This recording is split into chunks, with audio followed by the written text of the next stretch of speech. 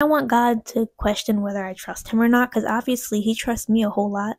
He sent his son to die for me.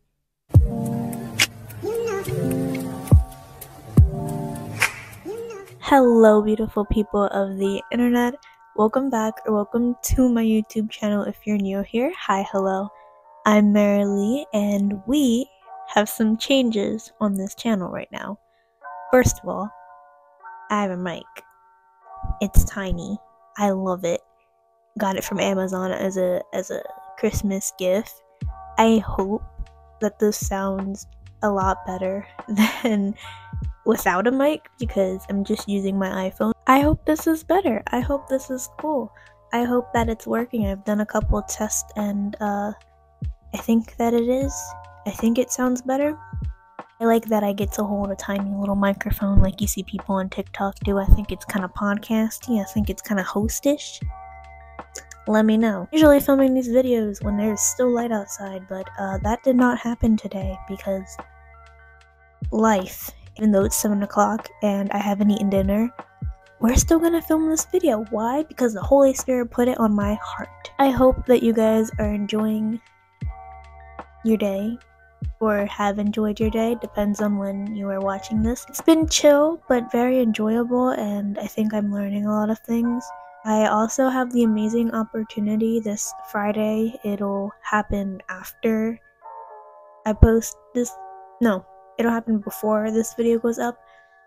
But I get the opportunity to perform some poetry this week, and I've been prepping for it, so it's kind of where my headspace has been. And I'm very grateful and very happy that even though my situation has changed, God is still allowing me to perform what I love to perform.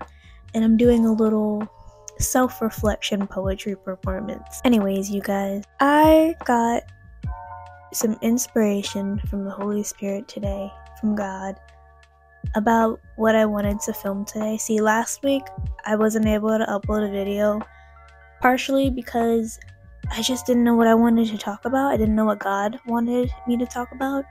And then it was also my birthday last week, so plans, I guess, kind of got in the way. I've been struggling on what I want to talk about because I've had a couple ideas, but nothing was really like calling my attention, if you know what I mean. Nothing was really like, hmm, talk about this. This is on your heart. Praise be to God truly because He gave me an idea for like a series I can do on this channel that maybe other people are doing. I don't know. But something I love to talk about with friends or with family is what God is teaching me. So God was like, why not make that a series on your YouTube channel and it'll change and it'll grow with time and it'll always be personalized with me and God because that's what He's trying to teach me right now. So I thought that'd be cool.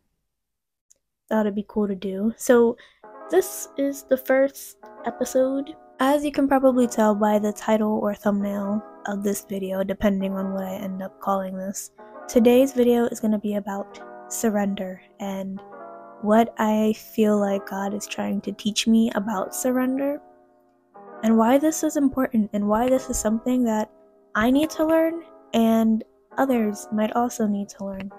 So let's start off by talking about my struggle and probably a lot of people's struggle with surrender, but I'm not going to speak for anyone, only going to speak for myself and what I know. I struggle with surrender because I can be a bit of a control freak. I've always been this way. I like to be in charge. I like to have a say in everything that is going on around me or anything that involves me. I like to have a say. I like to know what's going on. I like to be in control. I like to make decisions. I like to be in charge. Control freak, whatever you want to call it. Bossy. Maybe I, I I've been told I can be bossy, so I struggle with that and I think it comes I think before it came from a lack of trust in others and others' ability to fulfill what I what I needed or what I wanted. I guess you can also call that an insecurity. Like I just didn't trust anyone else with what was going to happen in my life. And that was before I really knew God. And so, what I've caught myself feeling and doing a lot is that sometimes I'm not trusting God, which is bizarre, right? Because obviously I should trust in Him. Like, I read His Word every day, I know why. I should trust in Him. He's good and He's right and He's fair and He loves us. And He's always had my life planned out step by step before I was even born. Why should I not trust in Him? But I think it comes from being let down by so many people that it became to the point where I was like, I just want to do everything myself. So now that I'm trying to develop this personalized relationship with God, sometimes I find myself doing the same thing with Him. I'm like, I want to give you control, but not too much. You know what I mean? I want to let you in, but not to the point where you're in control of everything. And some things I'm fighting with him on or have, and some things I've been able to surrender, but some things I just will fight God on and I and I catch myself doing that a lot recently. And maybe it's thoughts that come from the enemy or maybe it's just my own brain that has been programmed a certain way for so long and now God is trying to break it, but that's why we're talking about it today because it's very relevant and a lot of what I'm dealing with and a lot of what I'm trying to learn and understand about God. And I think a very important thing to learn how to do is obey God, especially you are first beginning your relationship with Him because when you first start trying to really know God, really want to do this whole God thing, you're going to be hit with a lot of temptation. You're going to be hit with a lot of doubt it's all new to you, right? And that's okay. Like, that's okay. It's okay to be hit with doubt. It's okay. I, I'm being hit with doubt right now. Like, can I really trust God with my life? Can I really do this whole thing about believing in God? And the answer is yes. Yes, you can. Yes, I can. But those thoughts, I think, are A, normal, but B, they're not necessarily right. I think it's hard to, like, to let God in everything which is what we're supposed to do. It is what we are supposed to do.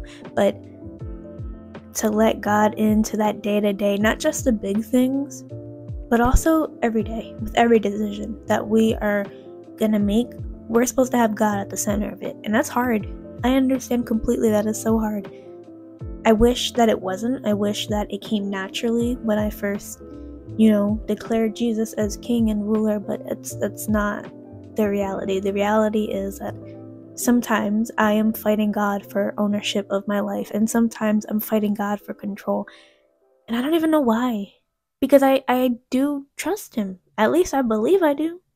But my actions don't always follow through with that. And so I can understand why God is like, Do you? Do you really trust me? I want God to question whether I trust Him or not, because obviously He trusts me a whole lot. He sent His Son to die for me. So why should I not trust him? That is a great question. Something that's really important to acknowledge is that we live in a world today that is so based on individualism, that is so based on how you can do the best for you and what you can do to achieve your dreams and what you can do to make your life the best and be happy, right? It's all about you. It's all about being self sufficient, self serving, self seeking. Because you do your thing, and as long as it makes you happy, you know, that's awesome. And that's what you should be doing, is, is what the message in a lot of what we hear today is is be self-sufficient be self-serving be selfish your desires no matter what they are no matter if they're good for you or they're bad for you as long as you're happy right that i think that is a huge message in our society. And that is another reason I find myself struggling is like, you know, I might see this person on social media or I might know someone in real life that is doing that. And they are succeeding at what they want to be doing. And you have to understand that just because it's good does not mean it is from God. And so when you look at those people who are succeeding, who are doing their thing, who are going for it achieving their dreams and their desires, and they seem so happy, understand that those people could be shaken so easily. The moment that those things are taken away, never to be satisfied. Truly, they're never truly to be satisfied because happiness is so elusive. Happiness changes. What makes you happy changes. For a good reason, it can change for a bad reason. But happiness is an is an elusive. It's an illusion. It it it exists, but it changes and it isn't always true or good. You are chasing the things that God put on your heart, and when you are doing the things God told you to do, you are always going to be satisfied because His plan is perfect. His plan has already been set out. All He's asking you to do is trust Him and walk with Him or run with Him, depending on the season that you're in. This, and all of this self sufficient achieving and, and goal striving and stri- striving and manifestation, like, it only lasts but so long. And so those people that seem happy right now, they're not gonna be happy in a couple days. They might not even happy be happy in like an hour I mean, how, how many times have we gotten a toy that we thought was gonna like be the ish, and then a couple weeks later, you're not even thinking about it? The point I'm trying to get here is that when you surrender to God's will, when you surrender your desires, your heart, your agenda to Him, and you do what He wants you to do, you're always going to be satisfied you're always going to feel full. You might not always be comfortable, but you're always going to have joy because you're going to learn to be grateful despite everything. Surrender is is powerful and it's misconceived or I don't know what the right word is. It's it's misrepresented. Like surrendering is seen as weak. It's seen as someone who can't stand on their own or someone who you know, they can't do it themselves. Surrender, however, to God is powerful. It means you are resisting everything that the world is telling you and you're giving it to God. That's powerful because you're basically saying, you know what? I'm gonna throw away my pride. I'm gonna throw away everything that I think basically is right. And I'm gonna follow what God says that is strong. That is strength, especially in today's society where everyone is basically telling you the opposite. You're not weak because you surrender to God. You are strong because it means you can stand before the world and say, I trust God. That is strength and that is not weakness. Something really huge that I've had to surrender is my desires and my goals for college. I'm 18. I'm going to graduate high school in a couple months. And a year ago, I thought that I was going to be the girl applying to college and getting into college and getting those scholarships. And while I still could, I'm not because the closer I've gotten to God, I think the more sensitive to His will I've become.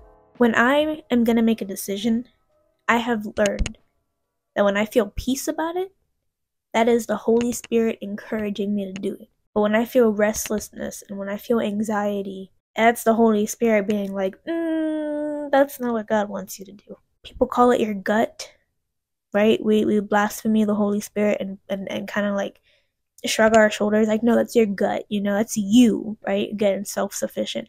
No, that's the Holy Spirit trying to tell you whether you should or should not do something based on God's will for you. Invite the Holy Spirit Surrender your day, your will, your plan to God. And then ask Him, What do you want me to do about this? And pay attention to how you feel. Ask God to be very clear with you about, you know, which one you're supposed to do. And I promise you, it might take you a couple of tries, it might take you some time. You might really have to sit and ask, pray, and meditate. but it's worth it because if I had gone through with, you know, I want to go to college, I want to go do this college thing. First of all, I have no idea what God wants me to study, if He even wants me to go to college. I just know He doesn't want me to go right now. Two, don't even know where I would go.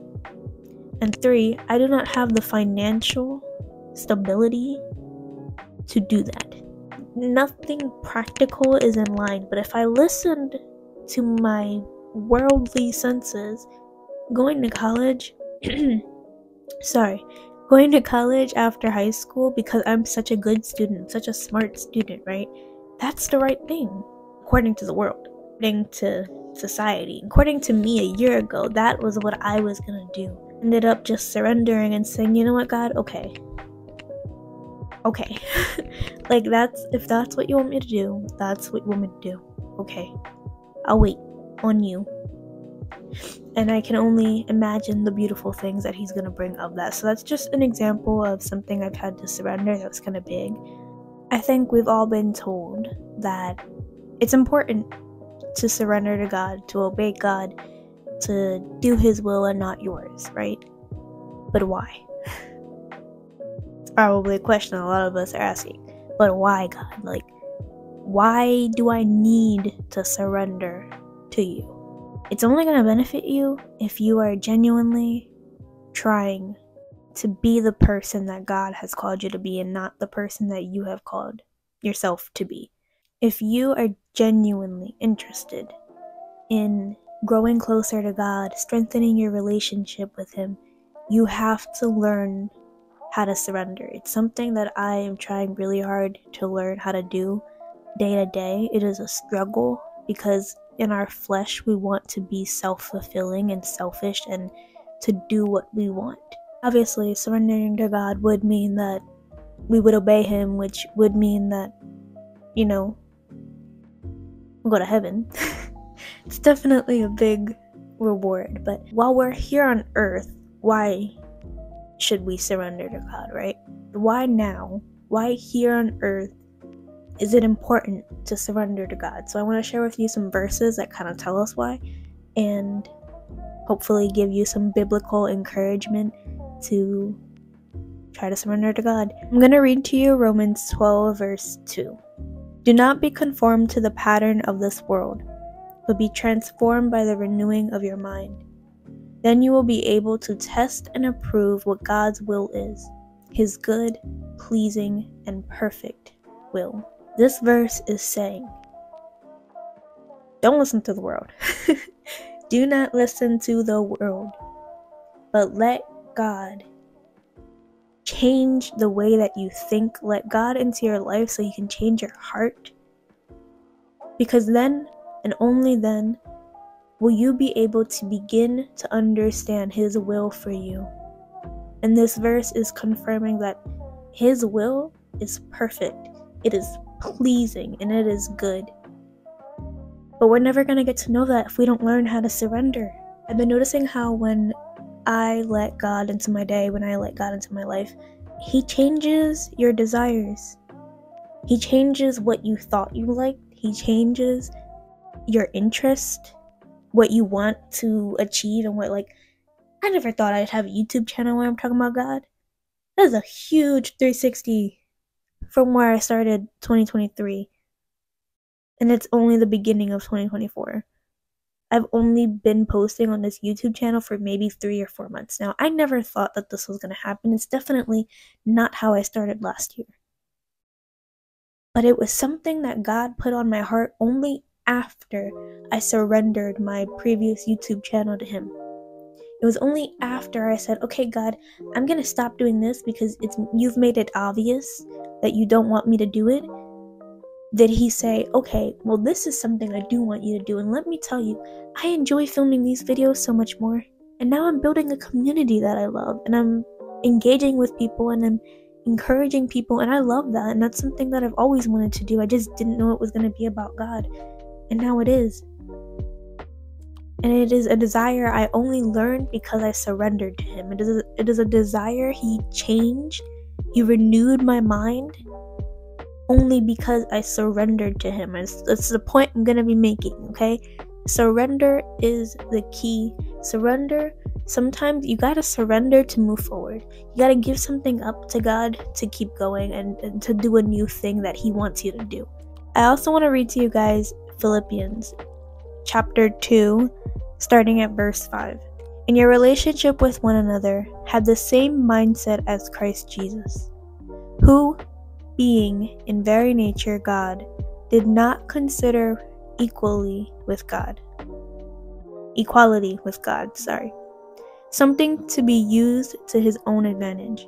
Rather, he made himself nothing by taking the very nature of a servant, being made in human likeness. And being found in appearance as a man, he humbled himself by becoming obedient to death, even death on a cross. Therefore, God exalted him to the highest place and gave him the name that is above every name, that a name that at the name of Jesus every knee should bow, in heaven and on earth and under the earth, and every tongue acknowledge that Jesus Christ is Lord, to glory of God the Father. And you might be like, what the heck does that have to do with me? That's talking about Jesus. Well, we're called to live like Jesus, be like Jesus, think like Jesus, right? He is an example. And that's what this verse is talking about. It's saying, have the same mindset as God. I mean, sorry. have the same mindset as Jesus Christ, who, even though he could have taken will of his own life, he could have done the thing, because first of all, he is God. He could have fallen for the devil's trap when the devil tempted him and said, You don't have to do this, you can do your own thing, right? Like, Jesus, out of everybody, had the excuse to do his own will. But the entire time Jesus did the will of his Father, of God, he was obedient. And you know what came of his obedience? God, it says God put him in the highest place. God made it because Jesus followed his will God rewarded him. Like, Jesus is sitting at the right hand of God. Don't you want to be up there too? I mean, you're not going to have the same spot as Jesus because he's Jesus, but don't you want to be up there in God's favor? Don't you want to get rewarded from God because you're doing what He wants you to do? Don't you want to make God proud? We can only get there by being obedient, by surrendering to God. We also live in a society, in a culture, where I'm sure you've heard it, but that you're supposed to be the main character of your life. You're supposed to be the boss, the CEO of your life. But if you believe in God, you cannot have that mindset. You cannot call yourself the main character because you are not the main character. Point blank, God is the main character. He is the writer of the story, He is the author, He is the story. He gets the glory. That rhymed. That was cool. You, you're not the main character that is a humbling thing, but it's also something that we have to learn to surrender. Is that it's not always about you. It's not. When you're trying to become closer to God, like it can't be about you. It has to be about Him. That is the only way that that's gonna happen. That's the only way your relationship with Him is gonna grow. Is that you you have to surrender. And let me tell you something Surrender is beautiful. Surrender brings peace. Because while you're so while that person is so busy trying to trying to take control of their life, trying to do this, trying to do that, don't you realize that if they stop doing what they're doing, everything falls apart? That if they take a moment to rest, everything falls apart? You know that person that you're idolizing, you know, and it looks like they got their ish together? Do you know how hard they have to work? Do you know that if they take a day off, everything falls apart? Because they made themselves the author and the main character. That's a lot of responsibility. God never wanted to give us that. God is saying, no, no, no. Give me the work to do. Let me be in control. Let me decide. And you are just supposed to be, you know, happy as a sheep to follow what God says. And I feel like people are going to be like, that sounds degrading or unhumane to just com- want to be a sheep and i'm not meaning literally you want to like baha i'm saying that when you give it to God, your worries, your stress lessens. At least your anxiety should. You you should worry about it less. Like I understand that so many of us are in so many different situations and so many of us are facing difficult things and I empathize with you. But God's word is God's word. You're still supposed to give it to him. And you might not be comfortable, but you should always have peace. That is that's why Jesus died. To, to bring us peace, peace of mind and peace of heart. And so while that person when they take an off day, they're gonna be struggling, they're gonna be backed up, they're gonna be behind, they're gonna have to figure it all out again. You're not. Because when you took a rest, God was still working. If God told you take a rest day, it's because He got it. I mean, He always has it. But what I'm saying is that while others have to be so worried about grinding, about always working, you don't have to be like that. You can take an off day and, and your life will still be okay. Things are still going to move because God never stopped moving. God commanded us to take rest, and that's something that's not encouraged enough in our culture in our society in our modern day era it's always always be working always be grinding always be doing the next thing yeah you're gonna have to be like that if you want to be self working self glorifying you do have to do all of the work but when you surrender it to god you will find peace no matter what it looks like you will find rest because you don't have to be working all the time you have to you know, be doing your best, but your best doesn't have to like destroy you. Your best doesn't have to consume you. I mean, God really does ask so little of us because He really does do all of the work. He just asks us to give it to Him. Give Him the wheel, give Him the control, and watch the way that your life won't seem as burdenful. Well, I don't think that's a word.